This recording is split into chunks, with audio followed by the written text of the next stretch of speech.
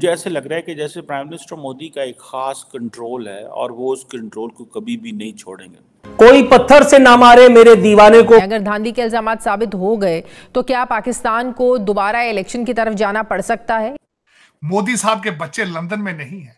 उनकी कोई ख्वाहिश नहीं है कि टोरंटो के अंदर अपने बच्चे को पीआर लेकर देनी है। उनकी कोई ख्वाहिश नहीं है कि दुबई के अंदर उनके विलास बने। लेकिन प्राइम मिनिस्टर मोदी का इतना ज़ोर है इसको ज़ोर बोलेंगे ना आप पॉलिटिकल लैंग्वेज में।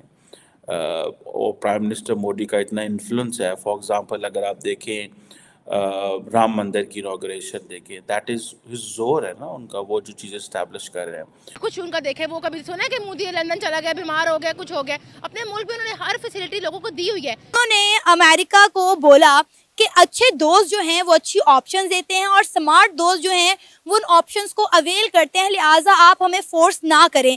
क्या कहना चाहेंगे इंडिया की फॉरेन पॉलिसीज़ कितना आज़ाद हैं? वो जब चाहे अमेरिका को शटअप कॉल दे देते हैं, उनकी बात नहीं मानते, उनके जो ऑफर्स हैं, उनको ऑप्शन की तरह लेते हैं और पाकिस्तान अमेरिका के आगे हमेशा भीगी बिल्ली बनकर बैठा रहता है। डॉक्टर जयशंकर वहाँ पे दुनिया की तमाम लीडरशिप को मिल रहे हैं।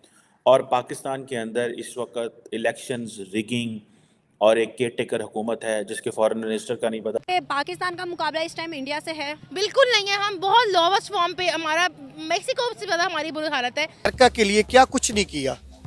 हमने अपनी आर्मी इतनी अमेरिका के कहने पे शहीद करवा दी। यहाँ पे जिसको ये लॉज पसंद है वो रहे। जिसको ये लॉज पसंद नहीं है वो नहीं रहे। शिफ्ट हो जाए माइग्रेट कर जाए इस big India migration is not a subject तो वज़ीर खारजा है वो वहाँ बैठ के अमेरिका को शटअप कॉल दे रहा है। तो मेरा ख्याल है कि एक रियासत को इतना इंडिपेंडेंट और स्ट्रॉन्ग होना चाहिए। नमस्कार आपका स्वागत है हमारी एक और नई रिएक्शन वीडियो में। दोस्तों भारत के अंदर जिस प्रकार से मोदी सरकार काम कर रही है चाहे वो भारत की फॉरन पॉलिसी हो आपने देखा ही होगा कि किस प्रकार से हमारे जो विदेश मंत्री हैं, एस जयशंकर साहब, वो विदेश के दूसरे देशों के अंदर किस प्रकार से वो भारत की बात को रखते हैं, इसके अलावा भारत के अंदर ही मोदी सरकार जिस प्रकार से बड़े डिसीज़न ले रही है, ये सब बातें देखकर, इनको सुनकर जो है ना, पाकिस्तानियों का जो रिएक्शन आता है ना, वो काफ़ी मज़ेदार होता है। तो ऐसी ही एक और वीडियो हम देखने वाले हैं, जो भारत के अंदर यूनिफॉर्म सिविल कोड जो उत्तराखंड के ऊपर अंदर जो लागू हुआ है, उसको लेकर आ रही हैं। तो वीडियो को पूरी देखना है लाइक करना शेयर करना।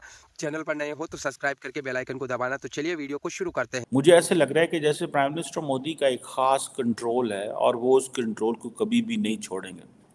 ठीक है जी? ये कहा जाता है कि ये जो यूनिफॉर्म सिविल कोड का जो कॉन्सेप्ट है, ये बहुत देर से इंडिया से है। ये कोई प्राइमरली जिसे वो कहते हैं ना, एक to establish single set of laws personal matters के हवाले से डाइवोर्स इनहेरिटेंस के हवाले से। और ये एक क्वेश्चन है, क्या अमेरिका में भी ऐसे है? क्या बरतानिया में भी ऐसे है? क्या पाकिस्तान में भी ऐसे है? And why India need it ठीक है? लेकिन प्राइम मिनिस्टर मोदी का इतना ज़ोर है, इसको ज़ोर बोलेंगे ना आप पॉलिटिकल लैंग्वेज में। और प्राइम मिनिस्टर मोदी का इतना इन्फ्लुएंस है। फॉर एग्ज़ाम्पल अगर आप देखें राम मंदिर की इनाग्रेशन देखें दैट इज़ ज़ोर है ना उनका, वो जो चीज़ इस्टेब्लिश कर रहे हैं। फॉर एग्ज़ाम्पल सारी की सारी बॉलीवुड जो है वो मतलब दे स्पोर्ट्स मैन देखें खिलाड़ी देखें देन आप उनको देखें जो जो टेस्ट हो रहा है जिसको उन्होंने एक ख़ास तौर पे एक ख़ास एंगल पे लेके आ गए हैं। ये इट मींस दैट ये चीज़ें हैं। uh, कहा जाता है कि जो इंडियन कॉन्स्टिट्यूशन है उसका एक आर्टिकल 44 है। जिसे वो ये कहते हैं कि एक डायरेक्टिव प्रिंसिपल है, जिसके मुताबिक जो स्टेट है, वो and they will do they will do for they will do everything to secure a uniform civil code for its citizens. ठीक है जी? और लेकिन फिर भी कहा जाता है कि इनकी ये जो कॉन्स्टिट्यूशन ऑफ़ इंडिया आर्टिकल 44 है, जो जो ये बात कर रहा है कि जितनी भी स्टेट्स हैं, वो इसके लिए काम करेंगी। बट जो आ, लेकिन फिर भी ये उन्होंने जो है ना डिस्क्रिशन है गवर्नमेंट की वो करें या ना करें। So it means what they want to do is that if they want to implement it Uttarakhand if they take it to the U P if they take it to the Assam if they take it to the Gujarat it means they are creating their own constituency वो अपनी एक constituency create कर रहे हैं। And that constituency is यहाँ पे जिसको ये लॉज पसंद है वो रहे। जिसको ये लॉज पसंद नहीं है, वो नहीं रहे शिफ्ट हो जाए माइग्रेट कर जाए इस big India migration is not a subject so ये जिसे वो कहते हैं ना ये एक बड़ा पॉलिसी लेवल का डिसीज़न है पॉलिटिकल लेवल का डिसीज़न है। कहा जाता है कि डिफरेंट सिविल कोड्स हैं इंडिया के अंदर। अब ये चीज़ें कैसे होंगी? For example Hindu personal law है। मुस्लिम पर्सनल लॉ है। आई थिंक जो हिंदू पर्सनल लॉ है जो हिंदू मैरिज एक्ट 1955 के तहत चलता है देन मुस्लिम जो है वो पर्सनल लॉ है, वो शरिया प्रिंसिपल्स और इन चीज़ों के तहत वो the Muslim personal law application act 1937 के मुताबिक चलता है। इस तरह अदर कम्युनिटीज़ हैं क्रिश्चियंस हैं पारसीज हैं ज्यूज़ हैं वो अपने उस तहत चलते हैं। अब ये एक जिसे वो कहते हैं ना, एक चीज़ है। अब वो कहते हैं जी, सबसे पहले क्या होगा ख़तरा किस चीज़ को रिलीजियस एंड कल्चरल डाइवर्सिटी को।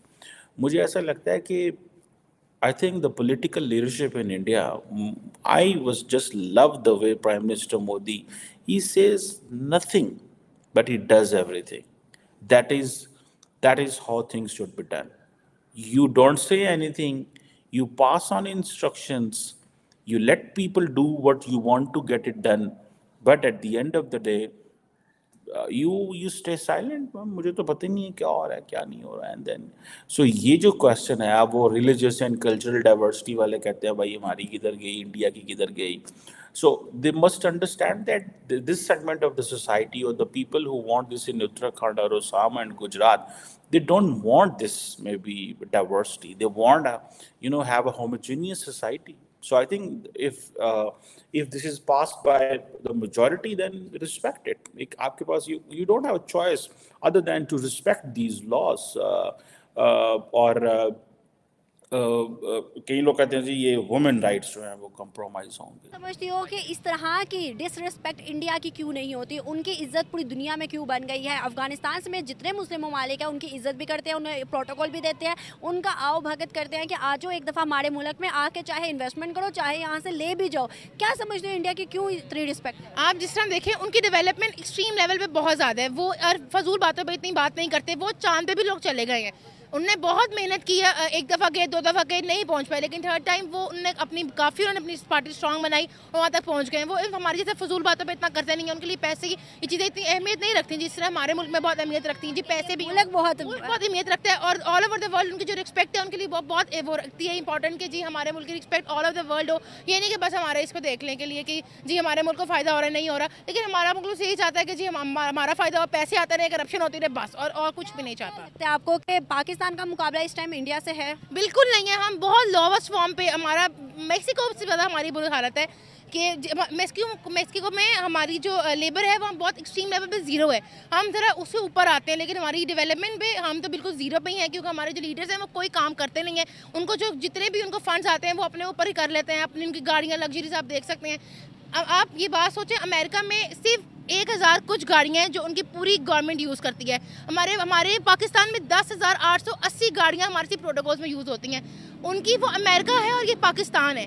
क्यों अंडर डेवलपमेंट है? क्योंकि हमारे मुल्क में हमारे लीडर्स ही कहते हैं, जी हम ही नंबर वन हो, लोग ज़ीरो चाहें वेल एक्चुअल लाइफ आप देखें, हमारे लीडर्स की लंदन में इतनी इतनी वो प्रॉपर्टीज़ हैं। यहाँ क्या है? जो इलाज वो पाकिस्तान में नहीं करा सकते, और लंदन जाके कराते हैं। वही बीमारी अगर पाकिस्तान में किसी को हो जाए, वो कहाँ जाए? लंदन जाएगा वो? किसी गरीब यहाँ, किसी किसी बूढ़े इंसान को वो बीमारी हो जाए जो लंदन जाके वो उसका इलाज कराते हैं तो यहाँ वो कहाँ कराएगा? मारी जाएगा ना। तो आई होप दोस्तों, आपको ये वीडियो ज़रूर पसंद आई होगी, और जैसा कि वीडियो की शुरुआत में आपने जिनको सुना है वो पाकिस्तान के पत्रकार हैं डॉक्टर कमर चीमा और वो यहाँ पर बात कर रहे हैं यूनिफॉर्म सिविल कोड को लेकर, जो अभी हाल ही में उत्तराखंड के अंदर जिसको लागू किया गया है। और अब खबरें ये आ रही हैं कि इसको धीरे धीरे पूरे भारत के अंदर लागू किया जाएगा। उत्तर प्रदेश हो, गुजरात हो, मध्य प्रदेश हो, असम हो, राजस्थान हो कई सारे ऐसे स्टेट बताए जा रहे हैं, जहाँ पर धीरे धीरे जो है ना यूनिफॉर्म सिविल कोड को यहाँ पर लाया जाएगा। जिसके तहत होता क्या है कि यूनिफॉर्म सिविल कोड की जो मांग है वो भारत के अंदर काफ़ी लंबे समय से हो रही हैं और इससे जो है ना सभी लोग इक्वल हो जाते हैं। किसी को कोई राइट्स वगैरह अलग नहीं होते हैं, सब एक इक्वल हो जाते हैं। तो इसी के ऊपर आपने जो पाकिस्तान के जो पत्रकार है कमर चीमा, उनको आपने यहाँ पर सुना है। इसके अलावा वीडियो के अंदर आपने जो है ना, पाकिस्तानी पब्लिक का रिएक्शन भी देखा है, जो जिस, जहाँ पर बात हो रही है भारत की फॉरेन पॉलिसी को लेकर, भारत के रिश्तों को लेकर। लेकर तो पाकिस्तानियों का तो सिस्टम यही है कि ना तो पाकिस्तान के रिश्ते इस्लामिक कंट्रियों के साथ अच्छे हैं, ना वेस्टर्न कंट्रियों के साथ अच्छे हैं। जहाँ पर भी पाकिस्तानी जाते हैं तो सिर्फ़ और सिर्फ़ पैसा ही मांगते हैं उनसे। तो जब आप मांगने वाले हो तो फिर आपका कोई रिश्ता नहीं होता है, आपका हमेशा यूज़ होता है। बाकी आपने पूरी वीडियो देखी है अगर आपको कुछ कहना है तो कमेंट करके ज़रूर बताना। हम मिलेंगे अगली नई वीडियो में, तब तक के लिए आप सभी का बहुत बहुत धन्यवाद।